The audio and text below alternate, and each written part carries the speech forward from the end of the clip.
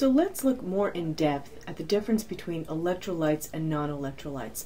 Electrolytes we know form ions, non-electrolytes don't. And so far we've gone over that ionic compounds are electrolytes. But now on this slide we see there are two types of electrolytes, strong electrolytes and weak electrolytes. And it is going to be important to know the difference. Strong electrolytes completely dissociate. Completely, completely, completely. And weak electrolytes partially dissociate. Now, hopefully this will help clarify things. For weak electrolytes, there's only two types of weak electrolytes. Weak acids and weak bases and we'll look in more detail, whoops, we'll look in more detail at the definition of these two chemicals, acids, bases, in a few more slides. So, strong electrolytes are all ionic compounds, strong acids, which are listed in your textbook, as well as strong bases, although you can consider strong bases to be ionic, as we'll see in a few slides. Weak electrolytes are weak acids and weak bases, and non-electrolytes are all molecular compounds that are not acids or bases. So in other words, all solutes can be classified as electrolytes or non-electrolytes. Electrolytes can be classified as strong or weak. Strong electrolytes are all ionic compounds that dissolve in water, all strong acids, and all strong ba bases.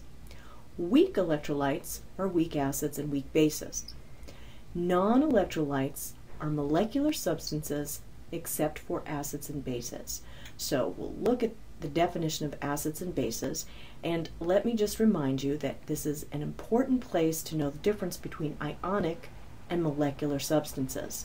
Ionic are made of metals and nonmetals, formed from ions, and molecular substances are covalently bonded um, molecules and molecules are made of non-metals only.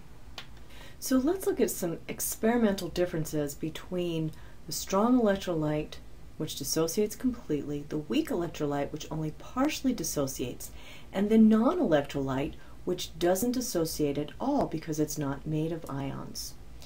And we bring over here this little slide here and what we have is this little apparatus that has two electrodes. It's plugged into a power source and it is also um, hooked up to a um, light bulb. And so there's a circuit here, and when the circuit is completed, meaning an electrical current is flowing between these two electrodes here in this solution, our light bulb is going to light up. So if we had a non-electrolyte dissolved in water, indicated here by these molecules, notice there's no charge on them, then the light bulb is not going to light up. If we have a weak electrolyte, where something dissociates slightly into ions, then it's going to light up a little bit. But if everything that is dissolved goes into ions, then the light bulb is going to light up brightly. So non-electrolyte, weak, weak electrolyte, and strong electrolyte. Okay, now it's going to be very important that you can identify strong electrolytes. Ionic compounds we identify because they always have a metal in them. Now let's look at how you can identify strong acids and strong bases. There are seven strong acids. You basically have to memorize these. You should memorize the name as well as the formula for each of them. Any other acid is weak. So once you memorize the seven strong ones, all the other acids are weak. And if you remember from chapter 2, naming acids, acids will pretty much begin with a hydrogen. We'll look at it in one example where it actually ends in a hydrogen. And then the strong bases, um, as I said earlier, are can be considered ionic compounds because they are ionic compounds.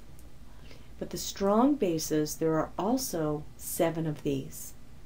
the group 1 or the alkali metal hydroxides, lithium hydroxide, sodium hydroxide, potassium hydroxide, rubidium hydroxide, cesium hydroxide, and the heavier group 2 metal hydroxides, calcium hydroxide, strontium hydroxide, and barium hydroxide. These are the strong bases. The only weak base that you are going to be required to know in freshman chemistry is ammonia. Ammonia is a weak base.